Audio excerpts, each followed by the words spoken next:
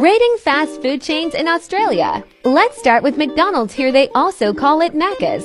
The menu has such unique things like potato scallops. You mix it with chicken salt. In Australia, it's quite common to see beetroot in burgers. I love the Cadbury flake in the soft serve. Overall 7 tenths. Now let's try Burger King, which is called Hungry Jack's. Pineapple and burger was an amazing combo. They have unique desserts like bubblegum ice cream and sticky date pudding. Overall 9 tenths.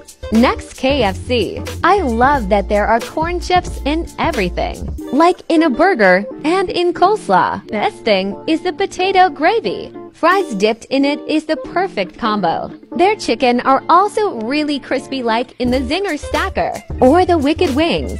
They were less spicy compared to KFC in other countries. I was surprised that they didn't have any ice cream on the menu. Overall, 8